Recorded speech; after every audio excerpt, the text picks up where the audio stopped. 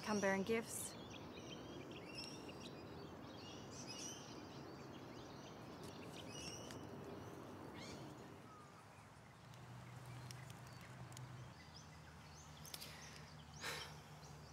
Fighting's a waste of energy, as Barry puts it.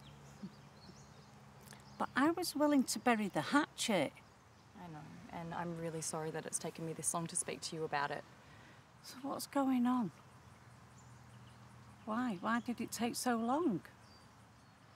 Well, I guess it was my hurt initially. After what happened with James and then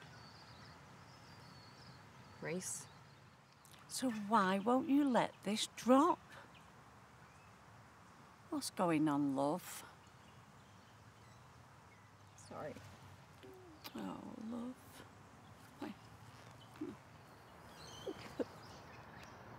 I'm sorry. cute.